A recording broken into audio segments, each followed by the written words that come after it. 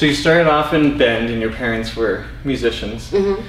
and stayed here for a while, kind of build a fan base, and then you moved to Austin. Mm-hmm. So why Austin? So um, I was about, I was in a time in my life where all my friends were settling down, having kids, doing the family thing. And I was like, whoa, whoa, whoa, whoa, I'm not ready for this. I haven't even been able to start my career. And, um, you know, being here and kind of the music scene was trickling down a little bit. I wanted to move. I had it in my heart, and I had a friend come over visiting my roommate at the time, and I heard him talking about Austin and how great it was, and it's all the music and all this, and I literally put it into my Google search right then and there, and all these things came up, and I said, "That's where I'm going." And so something seriously in my heart just said, "You need to go and do it there." Right. And it made sense. LA, you know, it's so saturated with people trying to make it, whether it be in film, music, whatever. Right. And Nashville's the same way, more on the music side of it. And I wanted to go somewhere where I wasn't going to be spit right back out and I would have a chance. And I wouldn't come home with my tail in between my legs saying I didn't, I wasn't able to make it. Yeah. And and I was, I did everything I wanted to do there. And I, there's still a lot more I want to do, but Right. But I accomplished it, so that feels good. Right. So from leaving Austin, what made you leave Austin to move to Portland and kind of pursue your musical career in Portland after leaving Austin? So after being there for the past six years, I, you know, I've I've done everything that I envisioned myself to do there. I've you know made a residency at a local venue. I was able to meet so many people. I played so many private parties and met some really great people in Austin. Um, and there, you know, I got my scooter, I had the dog, I live right downtown, and everything, everything I wanted. And I had wanted when I had first moved there, I'm like, this is what I'm gonna do. And I've accomplished all that. And come, you know, there comes a point when, as an artist, you know, I was doing this, I'm doing the same thing there as to where a lot of artists in Austin do. They get caught up just in kind of the Austin music scene bubble. Right. And for me as an artist, I feel like you need to make changes to also help yourself grow and to be able to, uh, it's things to write about. Right. Um, but the number one major reason is I missed my family, I missed my friends, and I've gotten to the point right now where I can do my music from anywhere. Right. I have a love for Oregon. I love the seasons. I love the trees, the mountains, the ocean. Austin doesn't have that, and I could be there and be doing all the, you know, making everything happen that I want. But life's too short. I don't want to spend it away from my family and friends. And so if I can make the music happen here, then I want to be here. Right. So kind of having it as like a base and then moving. Yeah. And if you're going on tour, you can always come back to home. exactly. Yeah. And I have good people to take care of my dog. Right. That's always a good thing. That's important. so, out of any covers, you know, a lot of people are kind of with online and the music industry right now. A lot of people are getting big and seen on, you know, YouTube or even on things like America's Got Talent, all these other things with doing a cover. hmm Have you ever been known to, or like, kind of stood out for someone, or for, a, I mean, whether it's a label or someone like that, with a specific cover that you've ever done? I have. Um, when I first moved to Austin, it was a big whole ordeal about cover songs. Right. Every venue were like, well, can you play covers? Was like, yeah, but I didn't really know that many, and I wanted to play my music. But Right. you know, in order, that's what people like to hear. They like something that they can relate to. So I, I learned a bunch of different cover songs. Um, but my whole deal was I'm going to learn things that are true to me and songs that mean something to me, whether it be something I knew as a little girl growing up or whatever. And uh, so one of them that definitely has stood out is Blackbird um, by Paul McCartney and John Lennon. And uh, I've had people at my shows like in tears, crying. And you know, just because that's this, I think it's the song, but also the way that maybe my voice does it, they, you know, felt really connected to it. So that's for sure probably the one that has stood out the most. Right. And kind of fit your sound in the way you can kind of portray it. Oh, for sure. Still without where some people can almost butcher cover songs. Yeah. but- And now with, so with those cover songs stuff like that, is it hard to find work or gigs to play when a lot of venues only want you to play cover songs? Um, not really. I mean, if you know the if you know the covers, Right. But the thing that I have had going for myself is that a lot of my songs are just they're friendly to the ears to Right. where a lot of people I've gotten people come up saying not realizing that I've written them. So the way that I've made my set lists, I've and combined them, it's a nice flow of a lot of people don't even realize sometimes that I'm playing my own music Right. in between, you know, I'll throw in a cover here, throw in a cover there. So, I mean, I haven't really, you know, some, I think with that, so a lot of these venues, they've been really accepting to me playing because they know that people will like it no matter what. It doesn't really matter if I'm playing a cover song or one of my own, right. which is nice.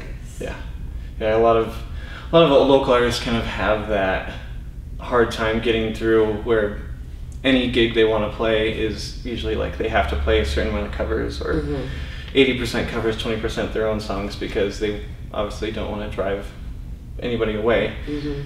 Um, and being those smaller venues and trying to get people in, it's kind of hard to do that. So. Um, with venues and things like that, do they have a hard time selecting or kind of having finding a place to play or no? Um, like with for just covers or Because a lot of venues want to, they don't want to push anybody away, so they want people to be familiar with the music, Yeah. things like that. So it's a little bit harder I to mean, definitely in Austin. Right, in like especially certain areas like Sixth Street where it's very touristy. right, That's somewhere that they're like you just need to play covers. Right. And then you know these artists who are great songwriters and musicians get sucked into just playing that, which bothers me right, because it's like you want to be able to express yourself and but I get it. You know people are down there drinking and they want to hear, you know their favorite rendition of whatever. Right. Just yeah. journey And so, you know, it drives me nuts because I get some of those people coming to my shows, and and luckily I've been given the credit to do whatever I want, and I don't have to. Do, I could just play all my own music if I want at a lot of these venues that I've, um, you know, done these residencies, and uh, so I get these, you know, some annoying people coming up asking me to play certain like rock songs that I don't I, I'm like what do you think from my genre of music that I would know that song right, and I don't know so it's just kind of it's interesting not to say that I could co- I could probably cover it and Yeah. do a good job at it so Yeah. sometimes I've actually done that and I've I've ended up liking it right. Yeah, especially when you've been, and that you've been kind of compared to play people like Colbie Caillat and things like that Mhm. with the kind of sound. Um, now to differentiate you from other artists, what do you, what would you say that kind of almost sets you apart from other artists and that are out there right now that can kind of almost put your own twist and personality into it to reach out to fans? I think that uh, what I get from a lot of people, and it's the same feeling that I get when I perform, it's just, it comes from a place that's very raw and gritty.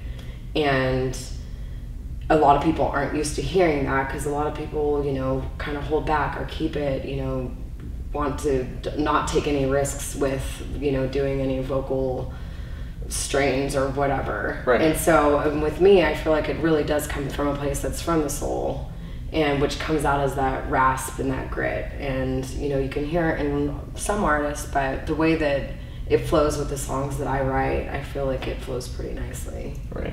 So you you know you get the fun, carefree pop kind of sound, but then you get that blues grit. Right, that hits you like deep in your Yeah. soul and like and like actually have like a feeling behind your each one of your songs. Mhm. And now playing I know what kind of preps you to get to play like the little bit bigger shows or something where for instance you're gonna go play Munch and Music soon Mhm. and there is a larger crowd and a lot of variety of the audience coming in rather than um, some of the places it's a lot different than a lot of places in Austin. Mhm. Um, so what kind of preps you for that and how excited slash nervous do you get playing those types of shows? I don't really get nervous anymore. I just, you know, because the thing is, I, I let go of that a while ago. I'm like, if people don't like me while I'm up here, that's that's fine. Right. It's, it's my time up here to to just do what I want, and the least I can do is the most I can do is just be myself and show people what I do. And um, but it's never steered me wrong. I mean, everyone. I feel like everyone enjoys it from every age group. There's something there for every every person, from you know little kids to uh, people in their 80s. Right. I have, one of my biggest fans was a 90 year old banjo player. That's awesome. so, uh, anyway, so yeah, so with that, I mean, I don't really, I kind of just go and do my thing. I try not to think about it too much. That's my the biggest thing. Once you get in your head and you start thinking too much into it, like what if I mess up this or this and that, the more that you just go with it, the more that you can just be free and be natural and do what you want, do what you do best. Right. That's how I feel. Even with the Munch music coming up, there's gonna be a lot of people. A lot of people.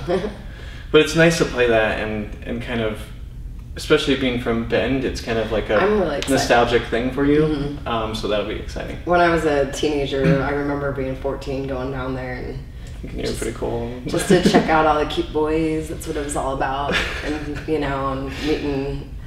Yeah, it was. But I remember sitting there being like, I want to play up there someday. So it's kind of fun that my first gig back in Bend, um, coming back from Austin, I'm gonna be able to do that. And on top of that, my um, percussionist from Austin happens to be coming through in his RV. He's been Nice. like exploring the the U.S. with his girlfriend, and um, they're coming up right around that time. So I'm like, you gotta get up there and play. Yeah. So that's gonna be kind of nice to have a piece of Austin there with me on stage. nice. Yeah. And for your parents being kind of like that influence, did they ever play any types of uh, venues like Munch and Music or anything like that, or where did they? They how were, did they get into music? They were a lot. Um, they did a lot of church and like prison ministry, surprisingly enough. Wow. And so they would, um, when they were kind of doing their thing, they were going around to all these prisons and singing for the prisoners and kind of just sharing this message of hope and you know even though the, yes there's a lot of people in there that are there for certain reasons that a lot of people wouldn't necessarily agree with um, they're still humans and i feel like they can still enjoy maybe get something out of the out of music and the, that connection Right. and um, you know they were they were christian songwriters so that was part of their message too Right. so that was mainly what they did. My dad though was was playing with me in Bend up until I left. He would come and play all the Really? gigs with me, which was a lot of fun. Yeah. So he's a bass player, and um, maybe I'll get him up for a song or two when Right. I play in a few weeks. We'll see. And did he ever make it out to Austin to play with you, or? Um, I got him and my mom up on stage when they came to visit me for the first time. Yeah, that was fun. Everyone was like, "What is what? What's going on here?" This little partridge family, Right. But a lot of people enjoy it because you don't really get to see that a lot with a lot of you know with families playing together and everyone doing a different instrument and harmonies and all that. So Right. it's nice. That's awesome. So your album's coming out very shortly, isn't it? Mhm. It's gonna be um, released on July fourteenth. Okay. I um, am actually going to be doing kind of some exclusive. I'll possibly have some albums available at Munch Music, so that's going to be something that's special for the for the Bend crowd, especially Yeah. people who've been following me for a while. Right. Um, they'll probably be able to get their hands on one after the show. So, and but I'm excited about that. We're going to be doing. A, there's a lot of things coming up, um, and I've been waiting for it for a long time. So. Whether it's here in Bend or in Portland as well. Or? Um, in Portland, but um, basically, no. I mean, in London, I'm going to go there at the end of July. So we're going to do promotion there, and the Dubai trip that's coming up to promote. Um, and then I, I mean, on a lo- on a local level, I'm going to start playing some stuff probably in Bend. People are reaching out to me wanting me to play at certain different little spots, and Right. I always love that. I can't say no to having a weekend out here and Right. being able to play a little music while I'm out here too. And then uh, Portland, I it's a bit of a mystery to me. So I'm kind of just starting from scratch there, so we'll see what comes about. But we're working on a few things. It's just so different because the singer songwriter scene is a lot different than than Austin. You know, you see a lot of punk bands and I feel like in Portland. Right. And so I'm really I'm really curious to get into the see where I can find the singer songwriter scene and right. acoustic music. It's slowly moving up. There's a few bands out there that I know, and hopefully, you guys all can kind of build a little genre pocket out there. That would be nice. That's, yeah. I mean, why not? Right. So I, yeah, that's my plan. Just go for it. Go find some spots that maybe I can set up a few shows and yeah, especially this there. summer. Mm-hmm. Yeah, it'll be nice out there. So hopefully it won't get too hot. So. Uh-huh. yeah, we'll see. So what's your what's kind of your goals in the next five years for recording albums and like how far kind of like do you want to tour? Would you like to try to get behind opening a larger band to mm-hmm. go on tour with or? Definitely that's going to be one of the one of the main goals. Um, my record label is um, hoping that with all the stuff that we're doing for radio and all these promotions and everything that um, it's going to get some noise said about me to where we can I can get linked up with a with an, another artist right. and hopefully maybe be an opening act, which would be great. I would love that. Even um, setting up my own tours probably going to be in the making um, next year. So very cool. That's that's pretty exciting, and I want to get started on my next album. As right. much as I want to go and promote and tell everyone about this one, I feel like I just want I'm let's let's keep it going. Right. And now's the time to start that.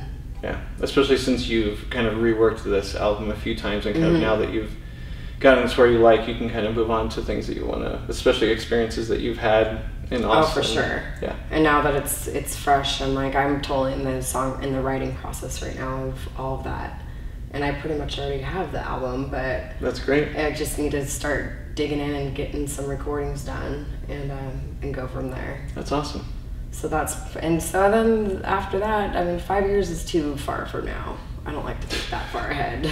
I don't either. It's too much of a commitment. Right? Very cool. Well it was nice to meet you thank thanks you. for, thanks for sitting down with me. Boy if you decide to keep coming around i may hope